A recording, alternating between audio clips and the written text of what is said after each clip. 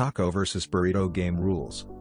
Includes 24 ingredient cards, 32 action cards, 4 tortilla card holders, 4 quick start cards, 1 rule booklet.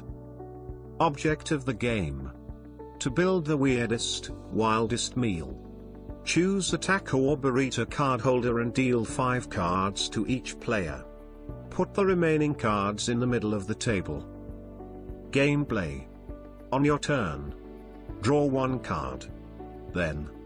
Add an ingredient card to a taco slash burrito or add tummy aches to reduce the value of a meal or add a hot sauce boss to double the value of a meal.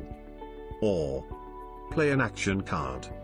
Use the trash panda, crafty crow and food fight to gain the cards you need to win.